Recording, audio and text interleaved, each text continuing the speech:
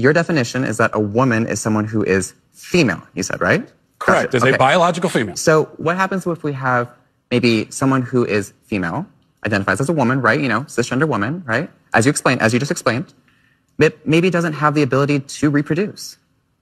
Maybe doesn't have those organs that you're talking about that are reproductive organs. I have answered the question. You stood up here and said trans women are women. Yes. Tell me what you mean. What is a woman? Womanhood is something that, just as Ethan explained, I cannot define because I am not But you used the word. So what did you mean when you said trans women are women if you don't know what it means? Right. So here's the thing. So I do not define what a woman is because I do not identify as a woman. Womanhood is something that is an umbrella term. It includes people That who describes what?